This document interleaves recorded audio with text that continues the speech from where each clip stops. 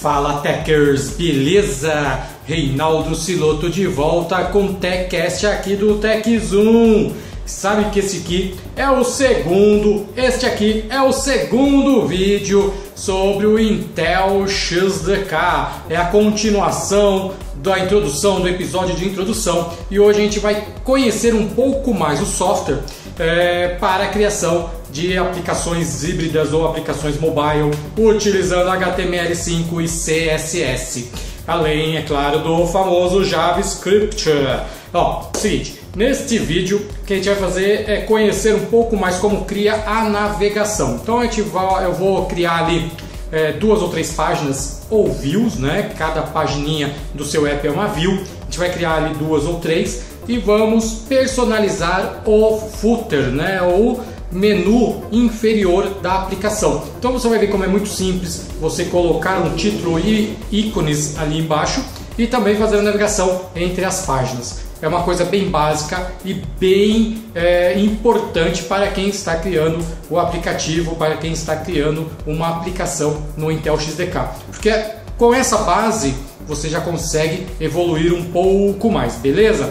Então é um vídeo rapidinho, é um vídeo tranquilo. Se no, no, episódio anterior você teve uma introdução, chegou a hora de você avançar, né? chegou a hora de você dar um passo a mais né, na utilização do XDK e entender como funciona a criação de telas, né, de páginas ou views e como você navega entre elas. É, no próximo, no próximo episódio, que é o terceiro, aí a gente vai desenhar mesmo. Eu vou mostrar um, um aplicativo que faz protótipos, né, uma aplicação online, um web app para a criação de protótipos. A gente vai desenhar junto todas as telas e daí sim a gente vai começar a desenvolver o app propriamente dito, beleza? Então é legal que você veja o primeiro episódio, veja esse, para quando chegar no terceiro, aí você já está preparado, você já tem uma noção muito melhor de como tudo funciona. E lógico, Lá para frente a gente vai aprendendo cada vez mais coisas, como sobe uma imagem, como muda um layout, como muda uma, a interface do usuário, mas isso tudo aos pouquinhos. Mas o que é básico é legal que você veja antes de colocar a mão na massa propriamente dito, beleza? Então aguenta aí, logo depois da vinheta eu volto pra gente continuar no XDK!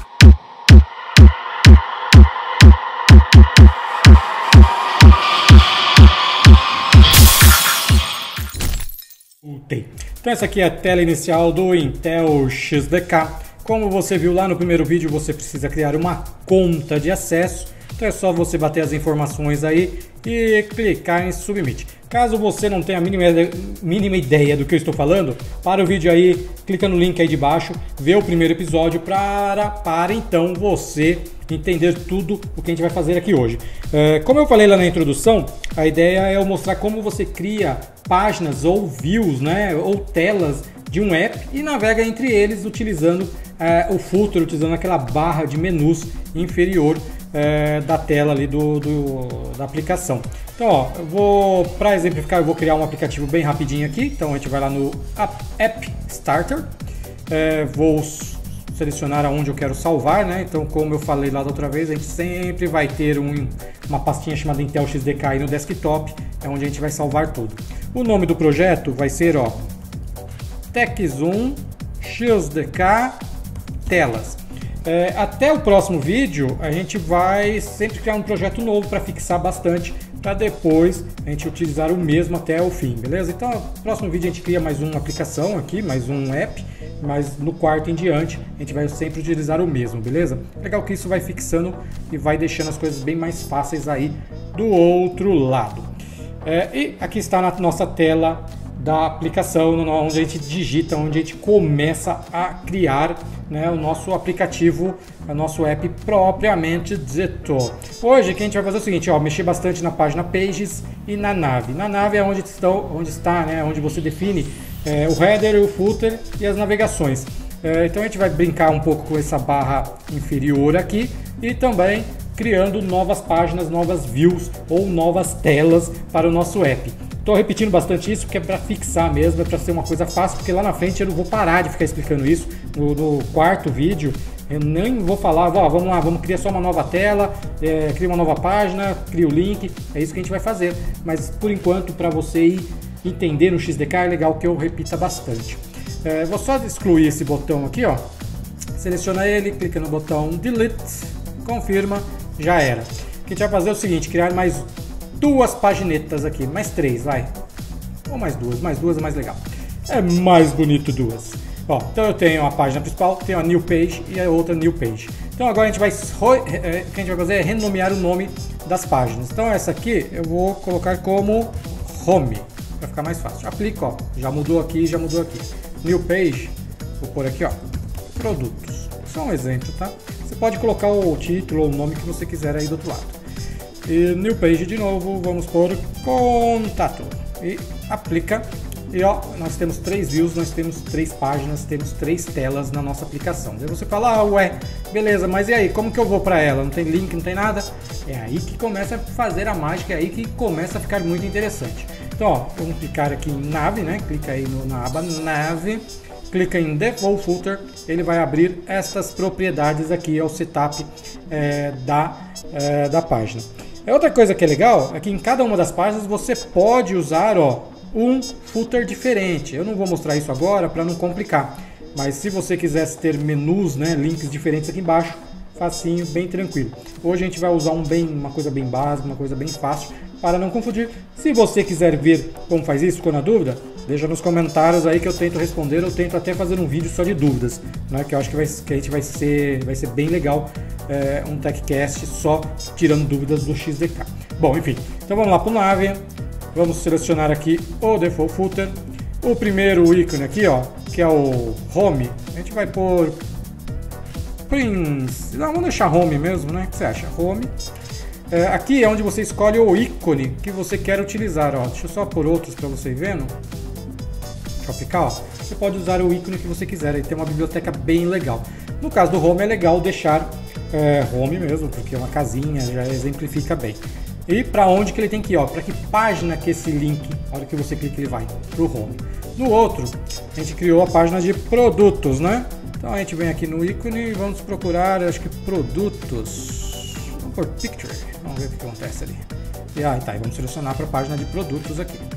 Ó, bonito, hein? Mas não tem muito a ver, né? Uh, vamos ver se a gente acha alguma coisa que tenha a ver. Ó, televisãozinha, produtos. A gente vende TV aqui no nosso aplicativo. E no outro é o contato. Vamos ver aqui. Que ícone que a gente pode pôr? A gente pode pôr o de info, né? Acho que o de info fica legal. Que tem que ir para contato. Aplica, olha lá, home, produtos e contato. É, daí você fala, posso alterar o nome? Ó, pode. Você altera aqui, posso alterar a ordem? Pode. Você pode pôr produtos aqui, coloca o ícone de TV, né? fala que tem que ir para produtos. Aqui você põe a home, fala que é a home mesmo, né? Que é o house aqui, que é a casa. Aí, que ele tem que ir para home. Aplica, olha lá, inverteu. Então a ordem você faz só mexendo aqui nesses combos, tá vendo? Você coloca um título, escolhe um ícone e diz para onde tem que ir. É, vamos só salvar aqui para ter certeza. Vamos lá nas páginas, ó, home, produtos e contatos. Se a gente vier aqui emulate, né, que é onde você emula sua aplicação dentro do próprio XDK para você navegar, né? Ó, produtos, contato, home. Tá? Tá feito. Você acabou ó, em questão de minutos aí, minutos, segundos, você, cri você criou essa barra inferior. É, então é uma coisa muito fácil, uma coisa muito simples.